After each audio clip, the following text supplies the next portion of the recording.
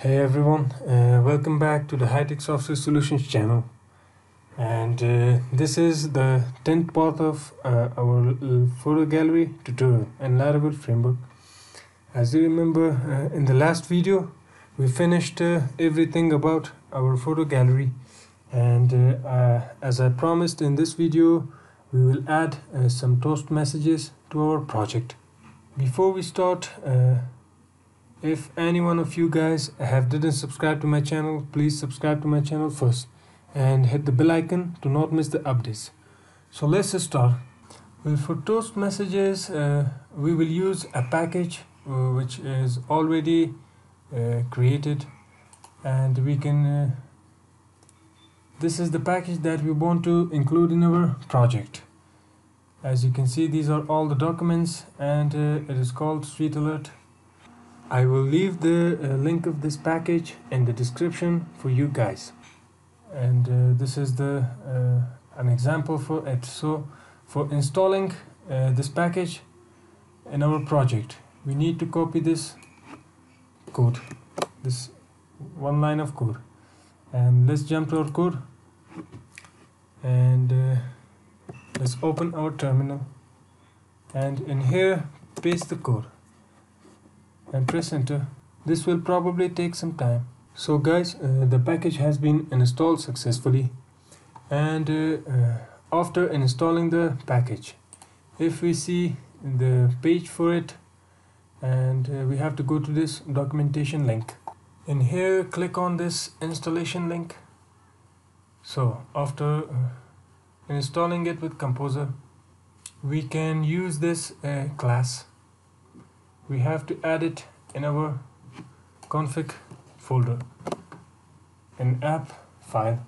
So copy it and if we go to our uh, text editor we have to go to this config folder and our app.php and at the bottom in here we can paste it.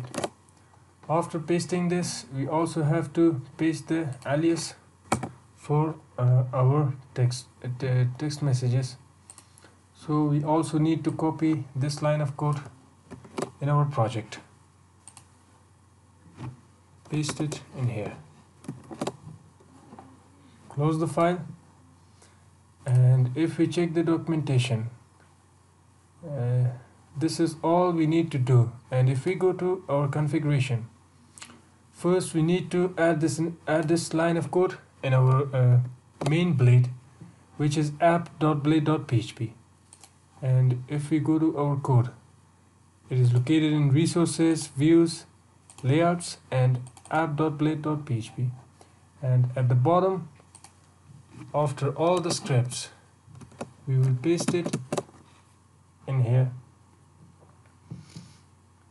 So after copying this uh, let's run this php artisan command in our uh, terminal. So in here paste it and press enter. It will create a folder inside our views which is called vendors. And if we open it as you can see this is a, a, a call for decision if uh, session has uh, a message so uh, it will show the message in the project.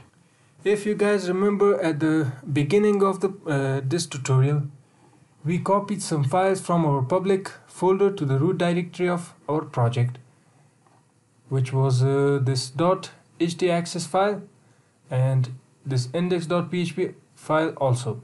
And we did this because we wanted to uh, serve our project uh, from the local host of WAMP server. So for that reason uh, whenever we want to uh, uh, call an asset file we should include our public folder also in the link because it won't work and uh, it will only work without public uh, when we serve our project as a PHP artisan from the terminal. So uh, the minor change that we need in this file is to add this public slash and after writing our public slash close the file and uh, close the app.blade also now we have access to toast messages in our project. Close terminal also. so let's go to our project and first of all we need to uh, include the message a toast message uh, for the login we want to show the user a toast message uh, something like uh, you have been logged in successfully after uh, a user logs in so what we have to do is go to our app http controllers auth and our login controller.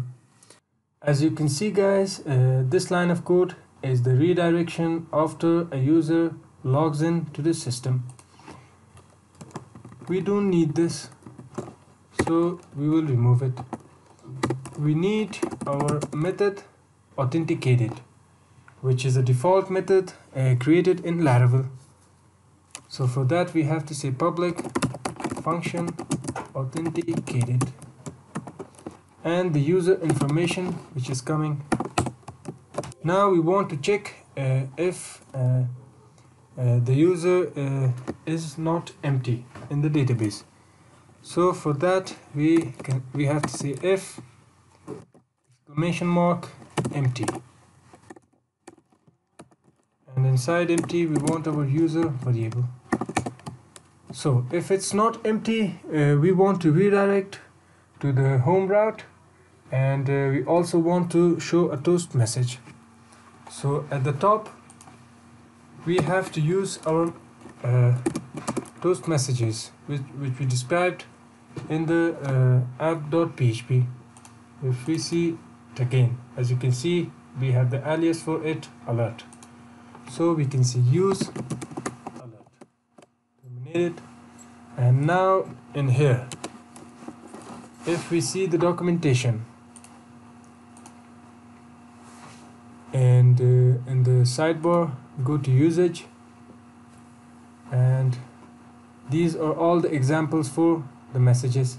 And we want this toast message we'll copy this and paste it in the project. And for the message we want to say you have been logged in successfully.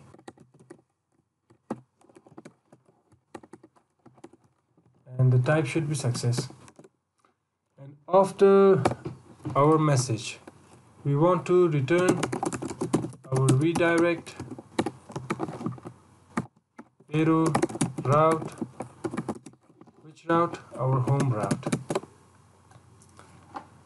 So let's uh, check our code. If we refresh our page and try to log in put the user information and enter. As you can see our toast message has uh, uh, shown successfully. So guys uh, this was how to add sweet alert into laravel and how to use them. So it was pretty easy. Uh, hopefully you guys enjoyed watching this video. This was all for this video. And uh, in the next video we will probably uh, work on our delete functionalities both the delete for the photos and also the delete for the um, gallery. We want it to be uh, user friendly we will use uh, uh, a confirm text box and after a delete if the user deletes the gallery or photo we want to show a toast message. So guys adding the toast messages to other functionalities in uh, the project I will leave it to you guys. So best of luck adding the toast messages into other functionalities of the photo gallery so have a nice day. See you in the next video